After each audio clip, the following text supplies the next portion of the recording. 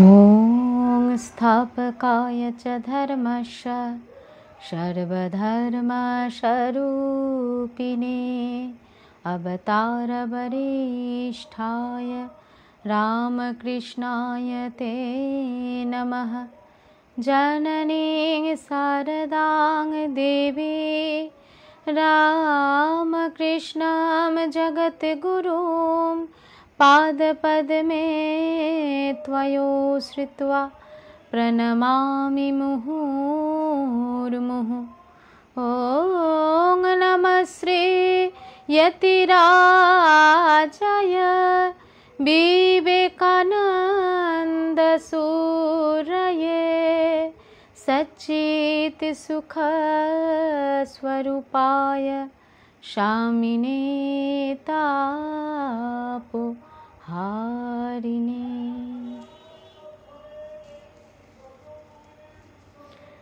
শুভ সন্ধ্যা। দিব্যত্রয়ী শ্রী শ্রী ঠাকুর মা এবং স্বামীজির চরণে আমার আভিমি লুণ্ঠিত প্রণাম জানাই। উপস্থিত সকলের জন্য আমার রইল আন্তরিক শ্রদ্ধা এবং শুভকামনা ও ভালোবাসা। আজ করুণাময়ী মা শারদা এই পেজ থেকে আমি শ্রী শ্রী রামকৃষ্ণ কথামৃত থেকে পাঠ করব এবং সেই সঙ্গে সংগীত পরিবেশন করব। আজকে দিনটা বেশ বর্ষণ মুখর দিন। তো এই রকম দিনে সাধারণত আমাদের একটা অলসতায় পেয়ে বসে। আর একটা সমস্যা যেটা, এই সময় নেটের কানেকশানটা একটু দুর্বলও হয়। তো আমার কথা এবং ছবি ঠিকঠাক আসছে কি না আপনারা বলবেন। আমি শুরু করতে চলেছি আমার অনুষ্ঠান। প্রথমে আমি একটি রামকৃষ্ণ গীতি পরিবেশন করব। সেটি শুরু করছি। সব কিছু ঠিকমতো আসছে।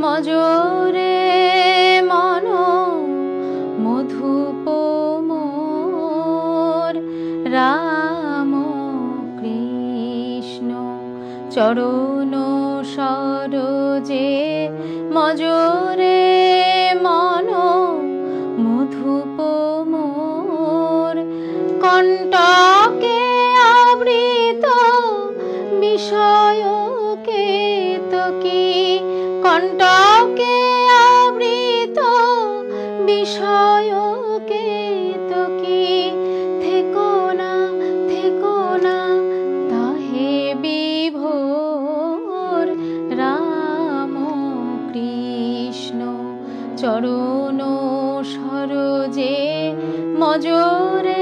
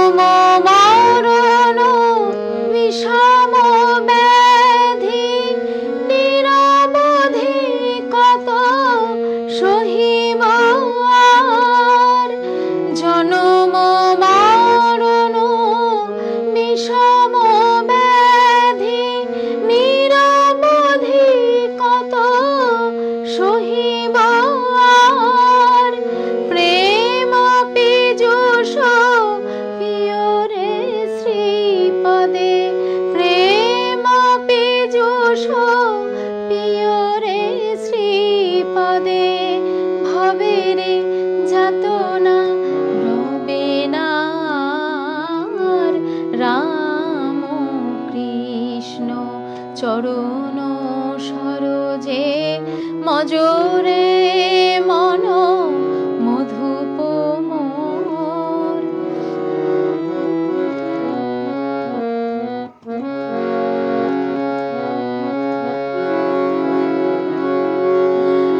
ধর্মা ধর্ম সুখ দুঃখ শান্তি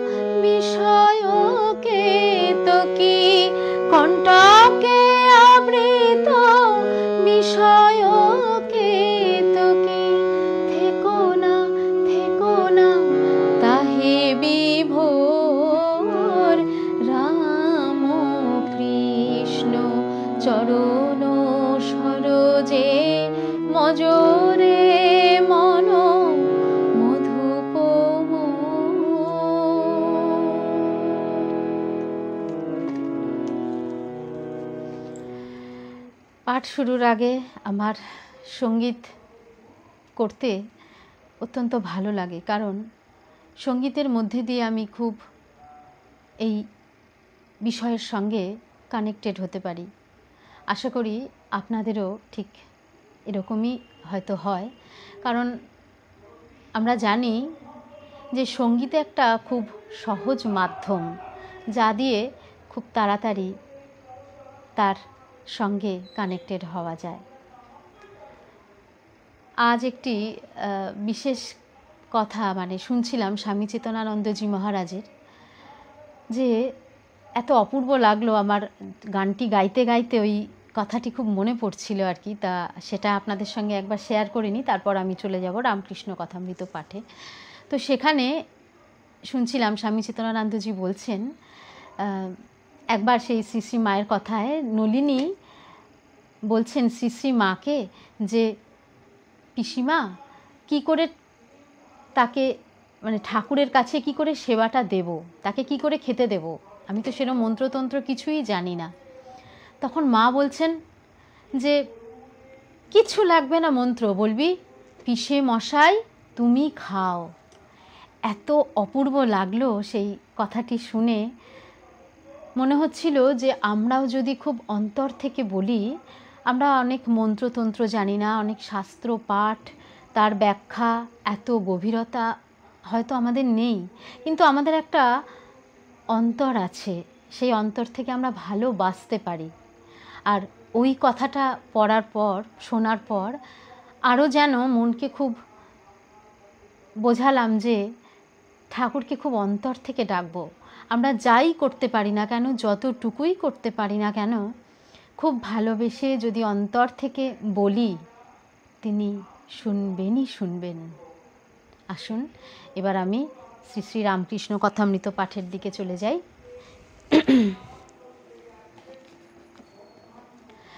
শ্রী শ্রী রামকৃষ্ণ কথামৃত পাঠের শুরুতে যে গোপী গীতা থেকে শ্লোকটি করতে হয় সেটি প্রথমে করে নিই তব কথামৃতম তপ্তজীবনম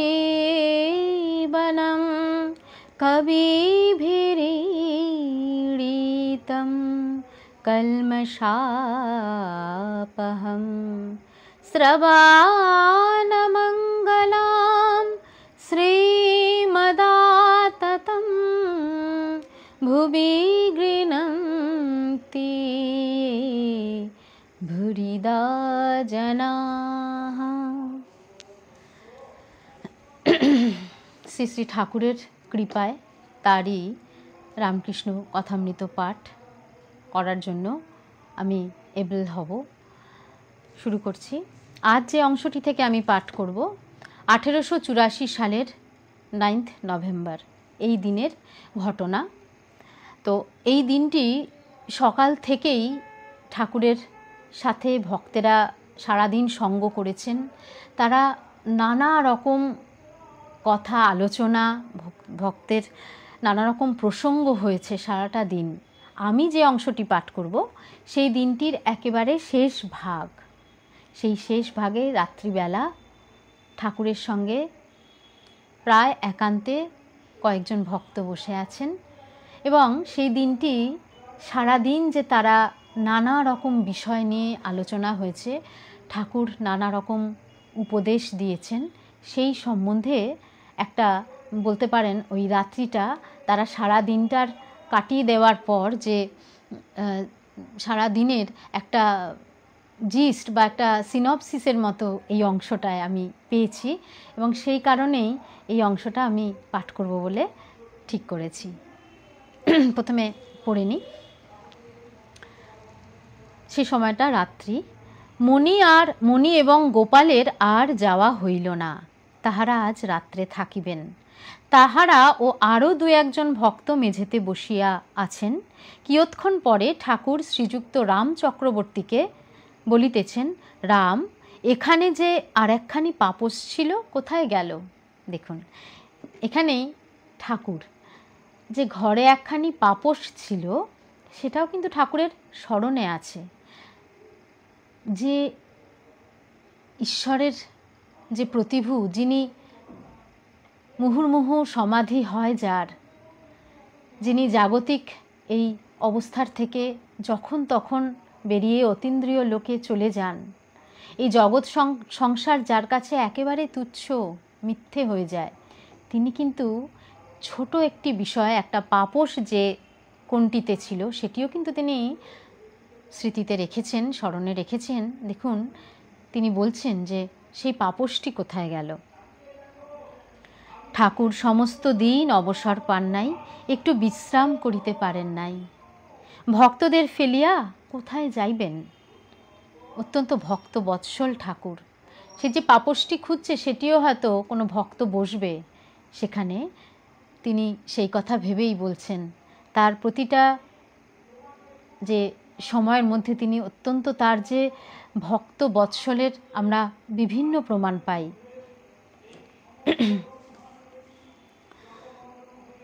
ঠাকুর সমস্ত দিন অবসর পান নাই। আচ্ছা ভক্তদের ফেলিয়া কোথায় যাইবেন? এইবার একবার বহির্দেশে যাইতেছেন। ঘরে ফিরিয়া আসিয়া আসিয়া দেখিলেন যে মণি রামলালের নিকট গান লিখিয়া লইতেছেন। কি গান? তারও তারিণী এবারও তরিত করিয়ে তপন তনয় ত্রাসে ত্রাসিত ইত্যাদি। ঠাকুরমণিকে জিজ্ঞাসা করিতেছেন, কি লিখছ? গানের কথা শুনিয়া বলিলেন, এ যে বড় গান। সম্ভবত বড় গান বলতে এই গানটি যে বেশ শব্দগুলো অত্যন্ত গভীর এবং কঠিন কঠিন শব্দ শব্দ সম্ভার রয়েছে গানটির মধ্যে। আমরা দুটো লাইন দেখেই সেটা বুঝতে পারলাম। সেটাই হয়তো ঠাকুর বলতে চাইছেন, কিংবা গানটি বড় সেটিও হতে পারে। ঠাকুরমণিকে এরপরে কি হলো? না, রাত্রে ঠাকুর একটু সুজির পায়েস ও একখানি কি দুখানি লুচি খান। ঠাকুর রামলালকে বলিতেছেন, সুজি কি আছে? আমরা জানি, এর আগেও দেখেছি, ঠাকুর রাত্রে অত্যন্ত কম খেতেন। রাত, ঠাকুর এমনি স্বল্পাহারী ছিলেন। তো রাত্রে ঠাকুর মাত্র দুটো কি একটি লুচি খেতেন, সামান্য একটি, একটু সুজি বা পায়েস, এই ছিল ঠাকুরের খাবার। আমরা কামারপুকুরে গেলেও এই প্রসাদ পাই। হ্যাঁ তখন খুব ভালো লাগে। কামারপুকুরে যখন আমরা ওই রকম জিনিসগুলো দেখতে পাই তখন মনে হয় যেন এই কথামৃতের সঙ্গে আমরাও মিলে যাচ্ছি। এত একটা ভালো লাগা হয়। যাই হোক, ঠাকুর মেঝেতে আসনে বসিয়া সুজি খাইতেছেন। ঠাকুর আবার ছোট খাটটিতে বসিলেন। মাস্টার খাটের পার্শ্বস্থিত পাপসের উপর বসিয়া ঠাকুরের সহিত কথা কহিতেছেন।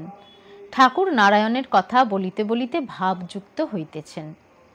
শ্রীরামকৃষ্ণ আজ নারায়ণকে দেখলুম। নারায়ণ একটি ছোট ছেলে, যে কিনা ঠাকুরের কাছে আসতে ভীষণ ভালোবাসে। ঠাকুরের গান, ঠাকুরের কথা শুনতে খুব ভালোবাসে একটি ছোট ছেলে। এবং এই ছেলেটি আমরা পড়েছি মাস্টার বা শ্রীম যে স্কুলের টিচ মানে হেড মাস্টার ছিলেন, সেই স্কুলেরই ছাত্র। মাস্টার বলছেন আগে হ্যাঁ চোখ ভেজা, মুখ দেখে কান্না পেল। শ্রীরামকৃষ্ণ বলছেন, ওকে দেখলে যেন বাৎসল্য হয়। এখানে আসে বলে ওকে বাড়িতে মারে। ওর হয়ে বলে এমন কেউ নাই। কুবজা তোমায় কু বোঝায় রাইপক্ষে বুঝায় এমন কেউ নাই।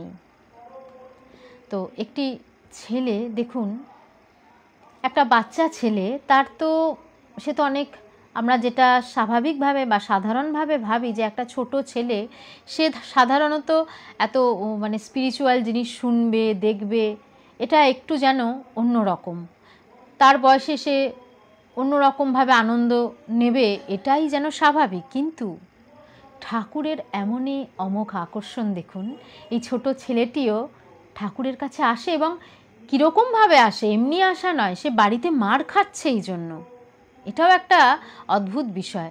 বাড়িতে মার খেয়েও সে আসছে, এতটা প্রতিবন্ধকতা সত্ত্বেও সে ঠাকুরের কাছে আসছে। মানে কতটা ভালোবাসা তার ভিতরে রয়েছে ঠাকুরের জন্য যে বাড়িতে তার মার খেতেও বাচ্চা ছেলেটার কোনো পরোয়া করছে না সে।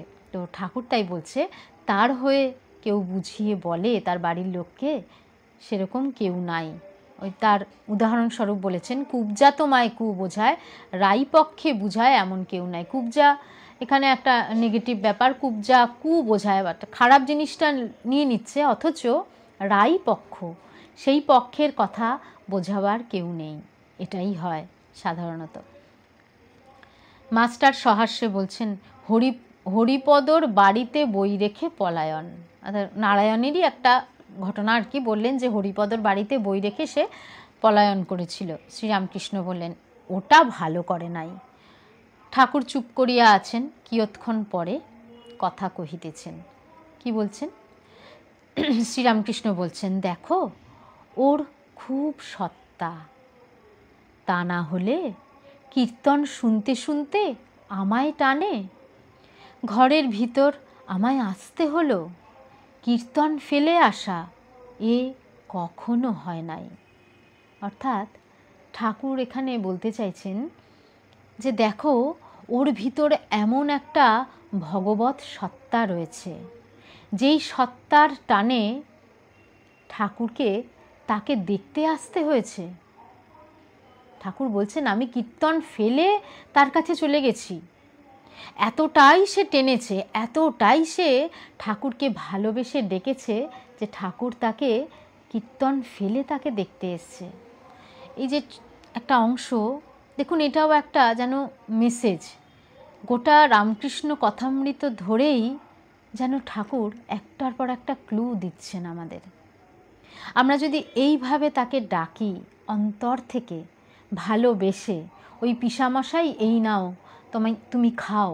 এই যে অন্তর থেকে এরকম বলা, এরকমও যদি আমরা বলতে পারি তিনি আসেন, না আসলে এই যে কথাটি এখানে ঠাকুর বললেন, দেখো, তা না হলে কীর্তন শুনতে শুনতে আমায় টানে, অর্থাৎ ঠাকুরকে টানার ক্ষমতা ভক্তের আছে, টেনে নিতে পারে সে। এরপর শ্রীরামকৃষ্ণ বলছেন, ওকে ভাবে জিজ্ঞাসা করেছিলুম। তা এক কথায় বললে আমি আনন্দে আছি। তারপর মাস্টারের প্রতি বললেন, তুমি ওকে কিছু কিনে মাঝে মাঝে খাইও বাৎসল্য ভাবে ঠাকুর তাকে জিজ্ঞাসা করেছিল সেই নারায়ণকে যে, সে এক কথা তুই কেমন আছিস? তখন সে এক কথায় বলেছিল যে, আমি ভালো আছি, আমি আনন্দে আছি। এবং মাস্টারমশাইকে তিনি বলছেন যে তাকে যেন কিছু খাওয়ায়, বাৎসল্য রূপে ছোট বাচ্চাটা, ছেলেটাকে যেন কিছু খাওয়ায়। ঠাকুর শ্রীরামকৃষ্ণ তেজচন্দ্রের কথা কহিতেছেন। শ্রীরামকৃষ্ণ মাস্টারের প্রতি বলছেন, একবার ওকে জিজ্ঞেস, জিজ্ঞাসা করে দেখো। একবারে আমায় ও কি বলে? জ্ঞানী কি কি বলে? শুনলুম, তেজচন্দ্র নাকি বড় কথা কয় না।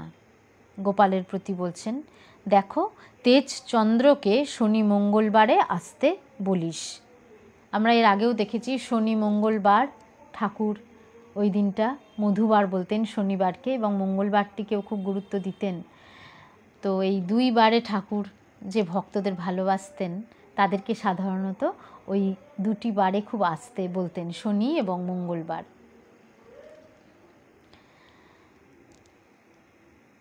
এরপর আসছে মেঝেতে আসনের উপর ঠাকুর উপবিষ্ট।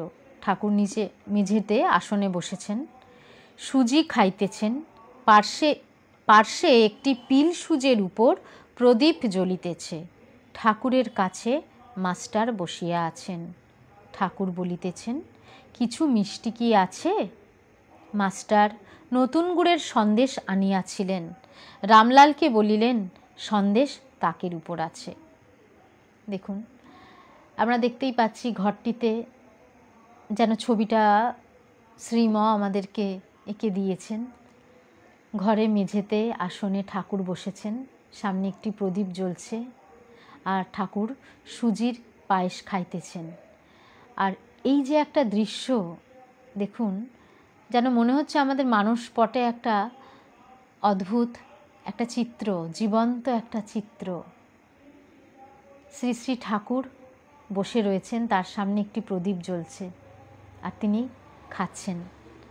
তিনি বললেন যে, সন্দেশ কি আছে? জিজ্ঞাসা করলেন। তো মাস্টার বললেন যে, মাস্টারই নতুন গুড়ের সন্দেশ এনেছিলেন। তো সেটা তাকের উপর আছে। শ্রীরামকৃষ্ণ বললেন, কই, আনো না। মাস্টার ব্যস্ত হইয়া তাক খুঁজিতে গেলেন। দেখিলেন সন্দেশ নাই। বোধহয় ভক্তদের সেবায় খরচ হইয়াছে। অপ্রস্তুত হইয়া ঠাকুরের কাছে ফিরিয়া আসিয়া বসিলেন। ঠাকুর কথা কহিতেছেন, শ্রীরামকৃষ্ণ বলছেন আচ্ছা একবার তোমার স্কুলে গিয়ে দেখি। মাস্টার ভাবিতেছেন, উনি নারায়ণকে স্কুলে দেখিতে যাইবার ইচ্ছা করিতেছেন। মাস্টার বললেন মাস্টার বললেন, তখন আমাদের বাসায় গিয়ে বসলে তো হয়? শ্রীরামকৃষ্ণ বললেন না, একটা ভাব আছে, কি জানো? আর কেউ ছোকরা আছে কি না একবার দেখতুম। এবার শ্রী শ্রী ঠাকুরের ইচ্ছে হচ্ছে স্কুলে গিয়ে নারায়ণকে দেখবেন। তো মাস্টারমশাইয়ের স্কুলেরই ছাত্র সে। তো মাস্টারমশাই ভাবছেন যে স্কুলে গিয়ে দেখার কি দরকার? তার থেকে তার বাড়িতে ছাত্রটিকে ডেকে আনা হবে, নারায়ণকে ডেকে আনা হবে এবং ঠাকুর সেখানে বসবেন। নিশ্চয়ই সেখানটা বাড়িতে আরও সুন্দর একটা কমফোর্টেবল পরিবেশে হয়তো হবে। কিন্তু ঠাকুর বলছেন কি? ঠাকুর বলছেন, না, আমি স্কুলে গিয়েই দেখব। কেন দেখব? তার কারণটা কি? আর কেউ ছোকরা আছে কি না? দেখুন, ঠাকুর তো ভবিষ্যৎ মানুষ তৈরির কারিগর। তিনি দেখতে চাইছেন, ওই স্কুলে ওই রকম ভাবের আর কেউ আছে কি না? তিনি তো দেখলেই বুঝতে পারছেন, পারতেন যে কার ভিতর কীরকম সত্তা রয়েছে, কার অন্তর কতটা পরিশুদ্ধ। এবং যারা ছোট আছে, তারা একটা দিন বড় হবে। এবং সেই কারণে তিনি স্কুলে গিয়ে ছেলেদের দেখতে চাইছেন। মাস্টার তখন বললেন, অবশ্য আপনি যাবেন। অন্য লোক দেখতে যায়, সেরূপ আপনিও যাবেন। যেরকম ওই স্কুলের ইন্সপেক্টররা আসেন, ইন্সপেকশনে আসেন, ঠিক সেই রকমভাবে সেইভাবে তিনি বলছেন যে হ্যাঁ সেরূপ আপনিও যাবেন। যেরকম ইন্সপেকশনে আসেন, সেরকমভাবেই যাবেন আপনি। ঠাকুর মানে ঠিক মানে বলতে চাইছেন যে, উদ্দেশ্যটা এরকম নয় যে আমি ছেলে দেখতে এসছি মানে ছেলে ধরা টাইপের নয় আর কি। সেখানে যেরকম ইন্সপেকশন হয়, সেইভাবে তিনি দেখতে যাবেন। আর সবাই যেভাবে যায় আর কি। ঠাকুর আহারান্তে ছোট খাটটিতে গিয়া বসিলেন। একটি ভক্ত তামাক সাজিয়া দিলেন। ঠাকুর তামাক খাইতেছেন। ইতিমধ্যে মাস্টার ও গোপাল বারান্দায় বসিয়া রুটি ও ডাল ইত্যাদি জলখাবার খাইলেন। তাহারা নহবতের ঘরে শুইবেন, ঠিক করিয়াছেন। খাবার পর মাস্টার খাটের পার্শ্বস্থ পাপসে আসিয়া বসিলেন। শ্রীরামকৃষ্ণ বলছেন, নহবতে যদি হাড়িকুড়ি থাকে, এখানে শোবে, এই ঘরে? মাস্টার বললেন, যে আগে অর্থাৎ মাস্টার, তিনি তো রাত্রিটায় আর যেতে পারলেন না, কারণ অনেকটা রাত হয়ে গেছিল। তো ওখানে শোবার জন্য তিনি নহবত ঘরে যাবেন। কিন্তু ঠাকুরের কত চিন্তা দেখুন। একেবারে যেন সেই বাড়ির মায়ের মতো সব কিছু উনি চিন্তা করেন, ভক্তরা কীভাবে শোবে, কি খাবে, তার মাথায় যথেষ্ট এই বিষয়টা কিন্তু রয়েছে। যতই তিনি জগন্মাতার ওই ভগবত চিন্তায় একেবারে বিভোর হয়ে থাকেন, কিন্তু ভক্তদের কোথায় কি অসুবিধা, তা কিন্তু তার ভুল হয় না সেখানে। তিনি বলছেন যে, নহবতের ঘরে যদি হাঁড়িকুড়ি থাকে, তুমি শোবে কীভাবে? তুমি তাহলে এখানে এসে শোবে। তখন মাস্টার বললেন, ঠিক আছে। আচ্ছা। এইবারে কি হলো? আরেকটু রাত বাড়ল। রাত তখন দশটা কি এগারোটা হইল। ঠাকুর ছোট খাটটিতে তাকিয়া ঠেসান দিয়া বিশ্রাম করিতেছেন। মণি মেঝেতে বসিয়া আছেন। মণি, অর্থাৎ মাস্টারমশাই মনির সহিত ঠাকুর কথা কহিতেছেন। ঘরের দেওয়ালের কাছে সেই পিলসুজের উপর প্রদীপে আলো জ্বলিতেছে। একটা অদ্ভুত সুন্দর আবহ চিন্তা করলেই যেন মনে হয় যে একদম একটা অদ্ভুত, একটা শান্ত পরিবেশ, একটা প্রদীপের আলো, সেই আলোয় কিছু আলো, কিছু অন্ধকারের মধ্যে দিয়ে স্বয়ং ভগবান বসে রয়েছেন, যেন একটা অন্তর ভরে যায় চিন্তা করলেও। ঠাকুর অহেতুক কৃপা সিন্ধু, মনির সেবা লইবেন। কত যে ভাগ্য যে ঠাকুরের সেবা করা যায়। মাস্টারমশাইকে সেই সুযোগ দিচ্ছেন তিনি, তার সেবা করার। স্বয়ং ভগবানের, শ্রী বিষ্ণুর পাদপদ্ম সেবা করার সুযোগ দিচ্ছেন মাস্টারমশাইকে। কত জন্মের, কত যে সুফল রয়েছে তার, সেই ভাগ্যটি সে লাভ করেছিল। শ্রীরামকৃষ্ণ বললেন, দেখো আমার পাটা কামড়াচ্ছে, একটু হাত বুলিয়ে দাও তো। মণি ঠাকুরের পাদ পাদমূলে ছোট্ট খাটটির উপর বসিলেন ও কোলে তাহার পা দুখানি লইয়া আস্তে আস্তে হাত বুলাইতেছেন। ঠাকুর মাঝে মাঝে কথা কহিতেছেন। একটা অপূর্ব সুন্দর দৃশ্য। স্বয়ং ভগবান শয়নে গেছেন এবং তার পা সেবা করতে দিয়েছেন, কোলের উপর মাস্টারমশাই পাটি তুলেছেন। আমরা যদি অন্তর থেকে ঠিক এই চিত্রটি কল্পনা করি এবং মাস্টারমশাইয়ের জায়গায় যদি আমরা নিজেদেরকে বসিয়ে নিতে পারি, আমরাও তো ওই মানস চক্ষে আমাদের এই সূক্ষ্ম শরীরে, আমাদের এই স্থূল শরীর না পারুক, আমাদের এই সূক্ষ্ম মনের দ্বারা আমরাও তো তার চরণটা সেবা করতে পারি। পারি না? নিশ্চয়ই পারি। তার আমরা কল্পনা করি এখানে যে ঠাকুরের পায়ে আমরা হাত বুলিয়ে দিচ্ছি। ঠাকুরের পা দুটো আমরা কোলে নিতে পেরেছি। আমাদের সেই ভাগ্য হয়েছে। আর ঠাকুর আস্তে আস্তে নানা রকম কথা বলছেন। কথামৃতের এটাই একটা অদ্ভুত বৈশিষ্ট্য। এত সুন্দর করে এক একটি পাতায় যে মাস্টারমশাই লিখে রেখে গেছেন, সেখানে আমরা কল্পনা করার অনেকটা অবকাশ দিয়েছেন। আর এই কল্পনাই আমাদের পৌঁছে দেবে সেই জায়গাটায়। সেই জায়গাটা তিনি যেন সেই ক্ষেত্রটা তৈরি করেছেন সারা বইটা জুড়ে। শ্রীরামকৃষ্ণ বলছেন, সহাস্যে, আজ সব কেমন কথা হয়েছে? সারা দিন তো ভক্তদের সঙ্গে অনেক প্রসঙ্গ হয়েছে। সেই সম্বন্ধে ঠাকুর আবার জানতে চাইছেন যে আজ কেমন কথা হয়েছে। মণি বললেন, আজ্ঞা, খুব ভালো।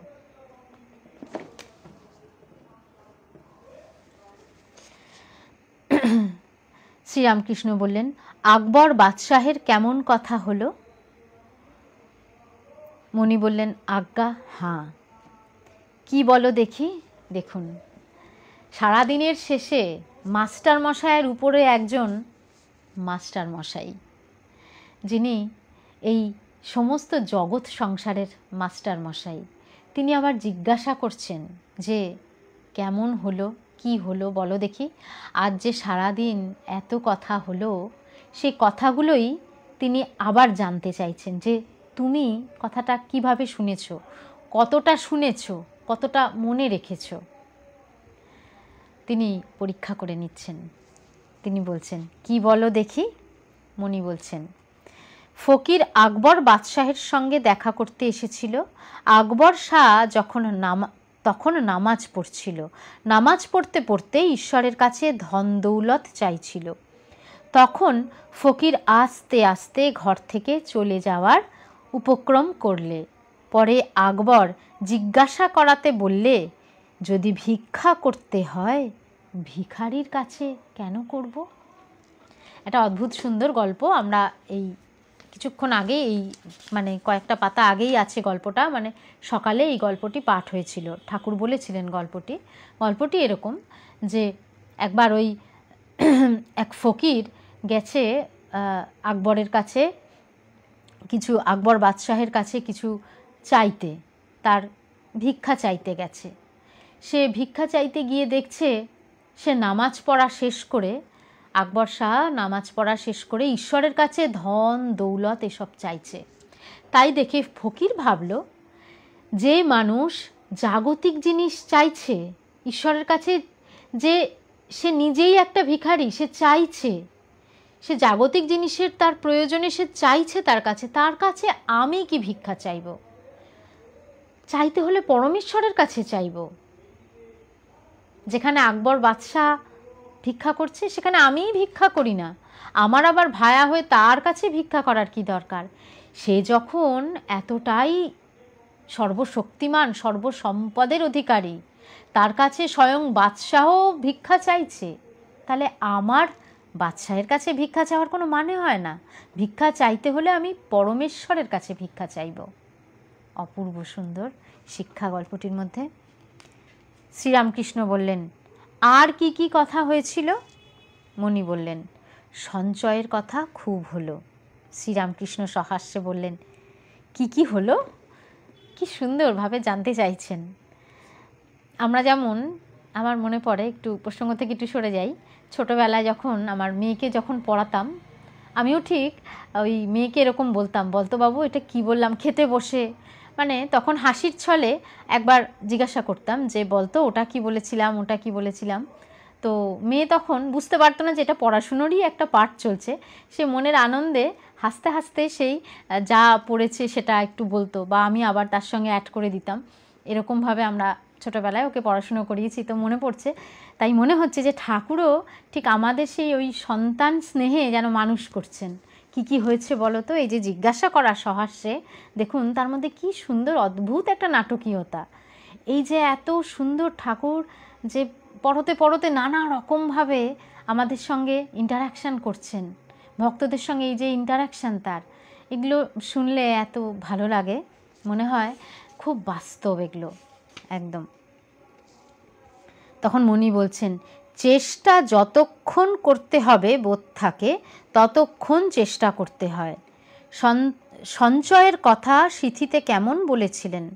অর্থাৎ চেষ্টা যতক্ষণ করতে হবে বোধ থাকে ততক্ষণ চেষ্টা করতে হবে। সঞ্চয়ের সম্বন্ধে এই কথাটা বলছিলেন যে, অর্থ তো প্রয়োজনীয়। অর্থকে আমরা কখনোই অপ্রয়োজনীয় বলতে পারি না। তো সেটাকে সঞ্চয়ের চেষ্টা আমাদের করতে হবে বই কি?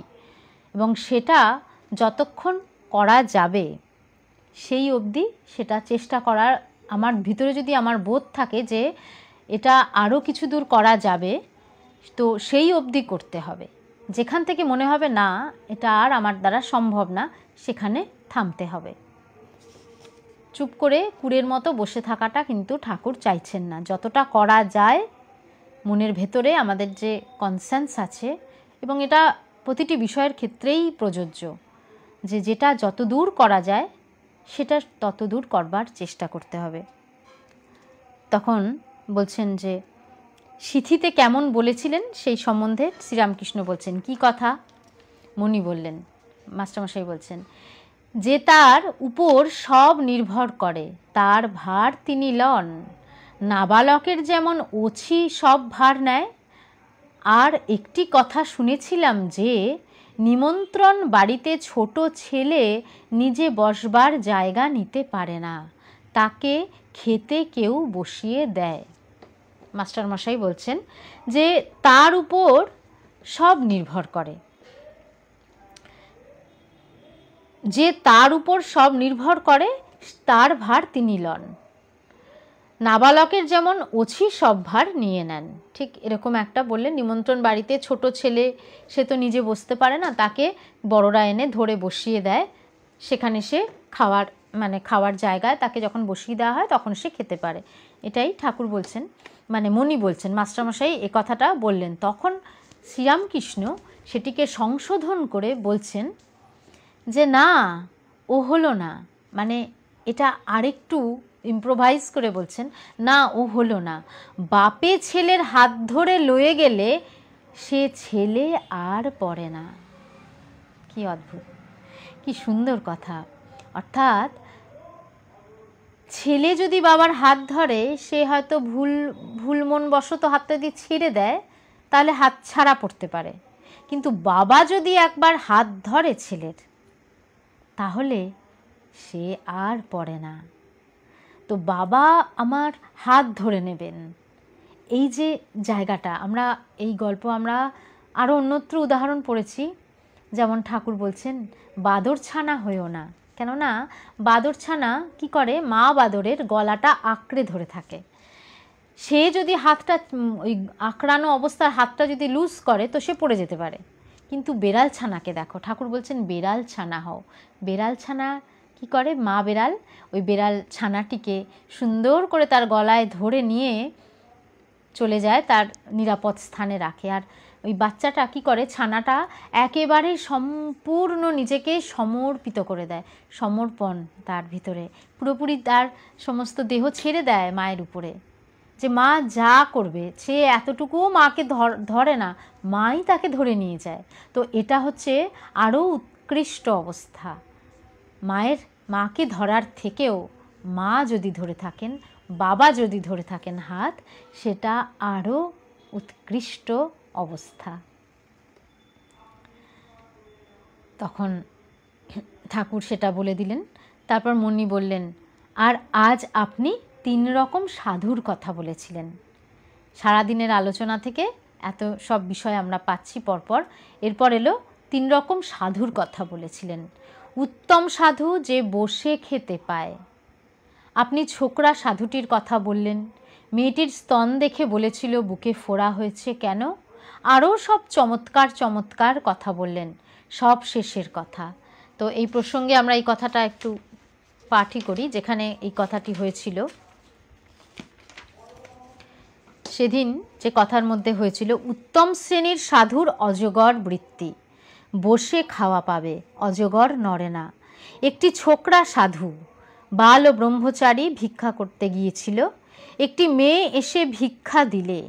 তার বক্ষে স্তন দেখে সাধু মনে করলে বুকে ফোড়া হয়েছে। তাই জিজ্ঞাসা করলে, পরে বাড়ির গিন্নিরা বুঝিয়ে দিলে যে ওর গর্ভে ছেলে হবে। বলে, ঈশ্বর স্তনেতে দুগ্ধ দিবেন। তাই ঈশ্বর আগে থাকতে বন্দোবস্ত করেছেন। এই কথা শুনে ছোকরা সাধুটি অবাক। তখন সে বললে, তবে আমার ভিক্ষা করবার দরকার নেই, আমার জন্য খাবার আছে। দেখুন, ছোকরা সাধুটি এই ঘটনাটিতে একটা শিক্ষা নিল যে স্বয়ং ঈশ্বর প্রত্যেকের জন্য কিছু না কিছু ব্যবস্থা করে রেখেছেনই। যেমন, শিশু যখন তার মায়ের গর্ভে থাকে, তার বক্ষে স্তন সেই স্তনে যে দুগ্ধ তিনি দিয়ে রাখেন, সেই ভাবি শিশুর খাদ্য হিসেবে। তো ঈশ্বর যখন এতটাই করছেন, তো তার চিন্তা করলে নিশ্চয়ই তিনি আমার বাকি সবটুকুর দায়িত্ব নেবেন। এই সম্বন্ধে বলা হলো। তারপর বললেন যে আরও সব চমৎকার চমৎকার কথা বললেন, সব শেষের কথা। এই আলোচনাগুলোর শেষে বলছেন মনি এত সুন্দর সুন্দর কথা আজ আমরা পেয়েছি। তো তারপর বলছেন যে, আর কি কি কথা হয়েছে? মনি বলছেন, সেই পম্পার কাকের কথা, অর্থাৎ পম্পা সরোবর।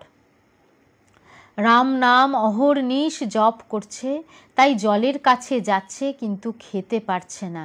আর সেই সাধুর পুঁথির কথা, তাতে কেবল ওং রাম এইটি লেখা। আর হনুমান রামকে যা বললেন, এত সব কথা। আমরা আগেও পড়েছি বিভিন্ন জায়গায় যে যেখানে ওই জলের উপর দিয়ে পার হয়ে গিয়েছিল, শুধু ওই ওং রাম এই মন্ত্রটিকে সহায় করে সে চলে গিয়েছিল। আর যখন সে সন্দেহ সন্দেহবশত যে এটাতে কী লেখা আছে, তার গুরুদেব তাকে দিয়েছিল সেটি, তো সে যখন সন্দেহ সন্দেহবশত ওটি খুলেছিল তখন সে বিপদে পড়েছিল। যে এই সামান্য দুটো কথা, এই কথার এত জোর? এরকম আমরা আগের বিভিন্ন গল্পে আমরা পড়েছি। এরপর বিভিন্ন কথা হলো। তখন শ্রীরামকৃষ্ণ বললেন যে মণি বলছেন, সীতাকে দেখে এলুম শুধু দেহটি পড়ে রয়েছে। মন প্রাণ তোমার পায়ে সব সমর্পণ করেছেন। আর চাতকের কথা, ফটিক জল বই আর কিছু খাবে না। আর জ্ঞানযোগ আর ভক্তিযোগের কথা। শ্রীরামকৃষ্ণ বললেন, কি? মণি বলছেন, যতক্ষণ কুম্ভ জ্ঞান, ততক্ষণ আমি কুম্ভ থাকবেই থাকবে। যতক্ষণ আমি জ্ঞান, ততক্ষণ আমি ভক্ত, তুমি ভগবান। যতক্ষণ কুম্ভ জ্ঞান, ততক্ষণ আমি কুম্ভ থাকবেই। যতক্ষণ আমি জ্ঞান, ততক্ষণ আমি ভক্ত। অর্থাৎ আমার ভিতরে আমি যতক্ষণ জেগে থাকবে, ততক্ষণ আমি ভক্ত এবং ভক্তের সঙ্গে ভগবান দুটি আলাদা হবে। এই ভক্ত যখন সেই স্বস্বরূপে চলে যাবে, তখন সে ভগবানের সঙ্গে সম্পূর্ণ লীন হয়ে যাবে। তখন তার আলাদা কিছু থাকবে না। এই ভক্ত ভগবান হচ্ছে এই ভক্তের ভেতরে যতক্ষণ আমি জ্ঞান রয়েছে, এই বললেন। এরপর বলছেন, মণি খানিক্ষণ চুপ করিয়া রহিলেন, আবার বলিতেছেন, মণি কালীঘরে ঈশান মুখুজ্জের সঙ্গে কথা হয়েছিল। বড় ভাগ্য, তখন আমরা ছিলাম আর শুনতে পেয়েছিলাম। শ্রীরামকৃষ্ণ বলছেন হ্যাঁ কি কি কথা বলো দেখি? মণি বললেন, সেই বলেছিলেন কর্মকাণ্ড আদি কাণ্ড শম্ভু মল্লিককে বলেছিলেন, যদি ঈশ্বর তোমার সামনে আসেন, তাহলে কি কতগুলো হাসপাতাল ডিসপেন্সারি চাইবে? আর একটি কথা হয়েছিল, যতক্ষণ কর্মে আসক্তি থাকে, ততক্ষণ ঈশ্বর দেখা দেন না। কেশব সেনকে সেই কথাই বলেছিলেন। মানে এখানে বলছেন যে শম্ভু মল্লিক অত্যন্ত একজন কর্মযোগী, এই হাসপাতাল তৈরি করব, এইটা তৈরি করব, সেটা তৈরি করব, নানা রকম তার মধ্যে ছিল।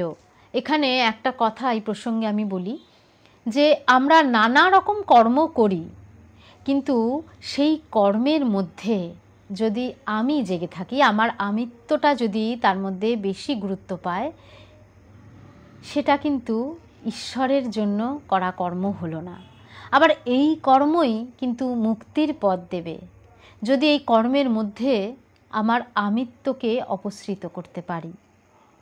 তো ঈশ্বরকে ডাকা মানে কিছু আমি দান, ধ্যান, সেবা করছি আমরা আজকাল তো দেখি বিভিন্ন জায়গায় বিভিন্ন মানুষ কত কি দান করছে। এই দানের একটা অনুষ্ঠান হচ্ছে বড় করে তার একটা প্ল্যাকার্ড দিয়ে হেডিং করে নানা রকম করে দান ধ্যান করছি, আমি ওই করছি, আমি সেই করছি। এবং এই সব করাগুলোই ঠিক করা হবে, ঠিক ঠিক করা হবে যদি সেই করার বিনিময় ঈশ্বরকে পাওয়ার ইচ্ছেটা থাকে।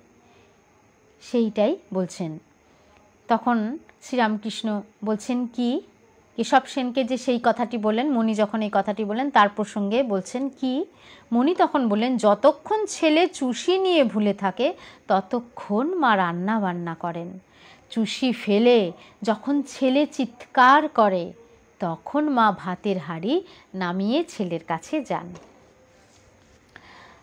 আমাদের এই যে সমস্ত নানা রকম কিছু আমরা করি সারাটা দিন যদি আমরা ভাবি, পর্যালোচনা করি, সকাল থেকে রাত অবধি, আমরা দেখব যে আমাদের কাজের মধ্যে আমরা নিজেদেরকে নিয়েই ব্যস্ত ছিলাম।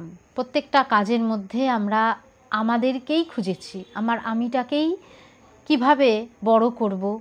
কীভাবে আমার আমিটা একেবারে বেশ ফুলে ফেপে উঠবে? আমরা সেটাই করে যাই। তো এইটাই বলছেন ঠাকুর, বলছেন যতক্ষণ এটাই হচ্ছে চুষি কাঠি নিয়ে খেলার মতো। এই রকমভাবে আমরা খেলতে খেলতে যখন আমাদের আর ভালো লাগবে না, ভেতরে বিতৃষ্ণা তৈরি হবে যে না, এটা তো আমাদের পাওয়া হচ্ছে না, আর এটা হবেই। এটা হবেই কারণ ওই শিশুর যেরকম চুষি কাঠি যতই খেলুক, তাকে নানা রকম রঙিন জিনিস দেওয়া হোক, সে ওই সমস্ত জড় বস্তুগুলো নিয়ে খেলতে খেলতে একটা সময় তার আসবেই। যখন সে তার মায়ের জন্য সে পাগল হবে, সে সমস্ত খেলনা তখন ছুঁড়ে ফেলে দেবে, দিয়ে কাঁদতে বসে যাবে, সে তার মাকে খুঁজবে। তখন যতই তাকে রঙিন জিনিস দেওয়া হোক, তার আর ভালো লাগবে না। তো ঠাকুর বলছেন, যতক্ষণ ওই সংসার রূপ, চুষি কাঠি নিয়ে আমরা নাড়াচাড়া করতে থাকব, ততক্ষণ তিনিও ভাববেন, বেশ বেশ, আছো, ভালো আছো, ওই নিয়ে থাকো। কিন্তু যখন আমরা ওগুলো ফেলে দিয়ে তার দিকে তাকে কেঁদে প্রার্থনা করব, তখন তিনি আসবেন। আজকের সময় প্রায় শেষ, আটটার কাছাকাছি বাজে। আমি আমার কথামৃত পাঠ এখানেই শেষ করলাম। এবার আমি অন্যান্য সময়ের মতো শেষে একটি গান গেয়ে আজকের মতো অনুধ্যান শেষ করব।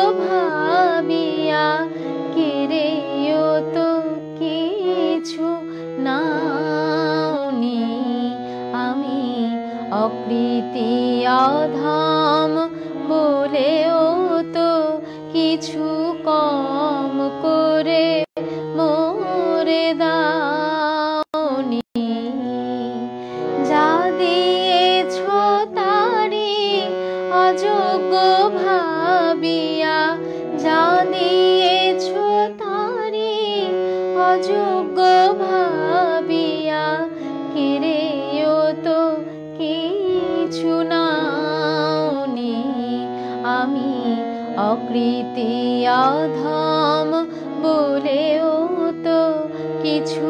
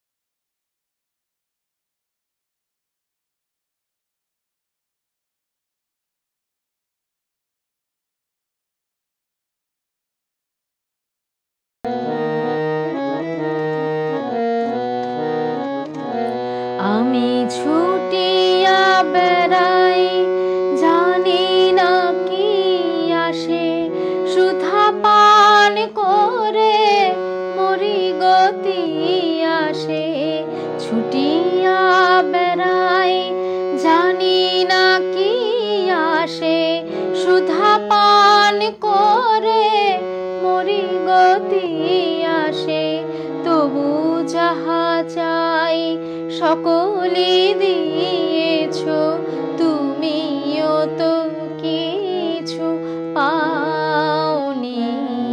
আমি অকৃতি অধম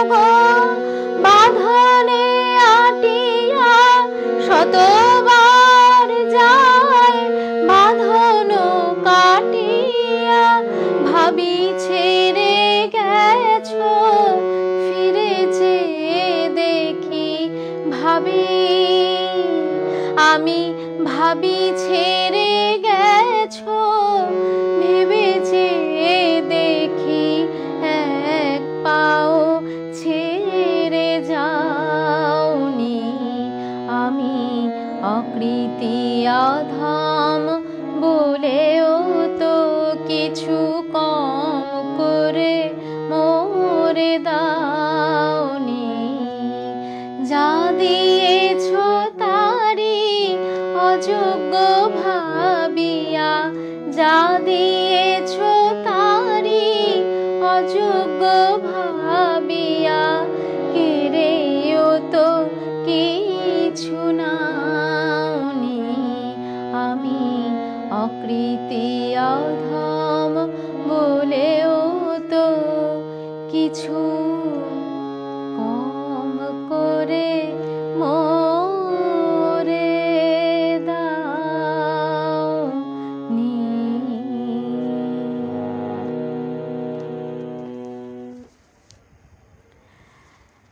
সত্যি ঠাকুরের কাছে আমরা অকৃতি, অধম।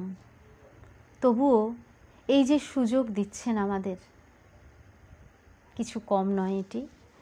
আমরা এটি সযত্নে, অন্তরে ধারণ করে রাখার চেষ্টা করব। আজকের মতো আমার অনুধ্যান এখানেই শেষ করলাম। সবাই খুব ভালো থাকবেন, সুস্থ থাকবেন।